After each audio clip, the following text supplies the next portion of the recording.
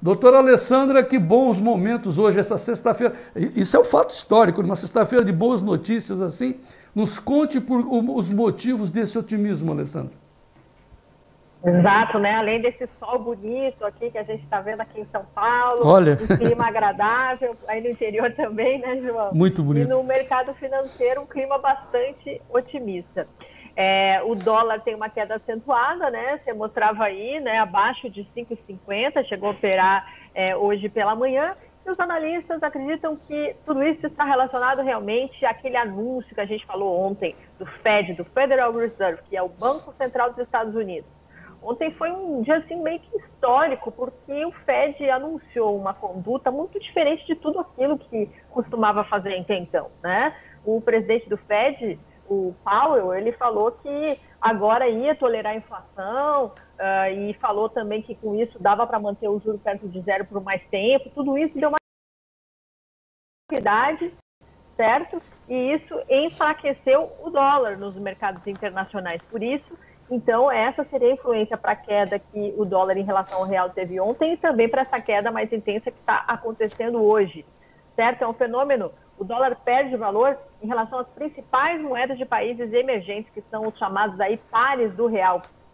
Uh, e tem aquela história que eu sempre conto aqui, que é o apetite para o risco ou a aversão ao risco. Né? Quando as notícias são alviçareiras lá nos Estados Unidos, os investidores ficam mais uh, atentos aí a investimentos de risco. E por isso eles vão lá investem em moedas de países uh, emergentes, que investem em outros papéis e tudo mais, e por isso a gente começa a ver essa subida, essa valorização geral aí nas telas, né? É isso que acontece também com Bolsa de Valores. Bolsa de Valores aqui do Brasil em alta, hoje operando, também seguindo o desempenho das bolsas internacionais que estão com alta sucessiva, tem recordes em alguns dos índices aí das bolsas de valores é, pelo mundo, tudo em função da questão do Fed. Essa a análise que os economistas, que os especialistas estão fazendo. Claro que ressalva sempre é feita. O mercado financeiro no Brasil segue atento à questão fiscal e às notícias que podem vir sempre do governo, né? A expectativa é de que o ministro da Economia, uh, Paulo Guedes, uh, apresente hoje ao presidente Jair Bolsonaro, né?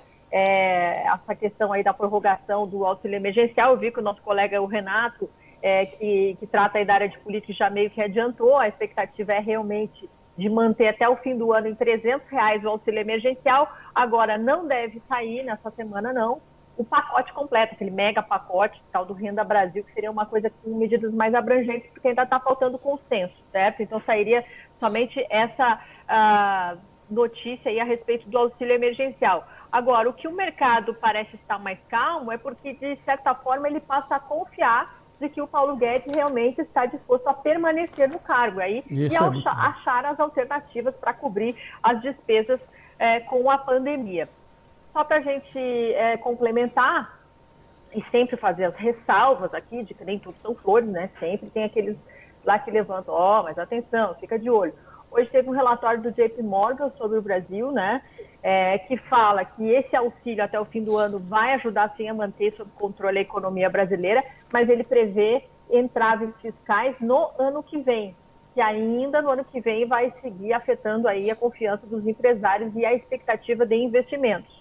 O JP Morgan está falando em 104 mil pontos para o final desse ano é, na Bolsa. Né? Hoje a Bolsa está operando aí em 102 mil. E a gente falou já aqui, há semanas atrás, que algumas corretoras aqui no Brasil previam para o final do ano 110 mil pontos. Oh. Então, talvez não seja uma recuperação tão intensa conforme a gente uh, previa. Você tá, quer falar comigo, João? Não, sim, não, é, sim, sim, sim quero sim. Quero dizer que também uma, uma outra boa notícia que saiu agora do Banco Central, dizendo que a inadimplência sim. tem a mínima recorde em junho em julho, né, Alessandra, na história, ah, todo mundo vai falir, o Covid vai destruir, vai ser. Ah, não, gente, olha, o Banco Central está dizendo que a inadimplência diminuiu de 4% para 3,5%, Alessandra. E parece que você tem dados também positivos com taxa de desemprego, é isso? Exatamente. Taxa de desemprego é o seguinte: saíram os dados do trimestre, os dados do trimestre são uh, ruins, já era de se esperar, enfim é, foi um momento ali de, de, parada total né, da economia, Então, no trimestre, os dados do IBGE, daquela chamada PNAD, que é a Pesquisa Nacional por Amostras de Domicílio, ele mostra uma taxa de desocupação de 13,3%. É um aumento em relação ao trimestre anterior, primeiro trimestre do ano, e também é um aumento em relação ao segundo trimestre do ano passado, certo? E quem teve maior taxa de desocupação foi Bahia, Sergipe e Alagoas e as mais baixas foi Santa Catarina, Pará e Rio Grande do Sul. Agora, o IBGE também está fazendo uma pesquisa, que é, é o PNAD ligado ao Covid, que eles chamam que eles fazem uma análise semanal praticamente, é, para tentar sentir a reação do mercado de trabalho é, em relação aos efeitos do coronavírus.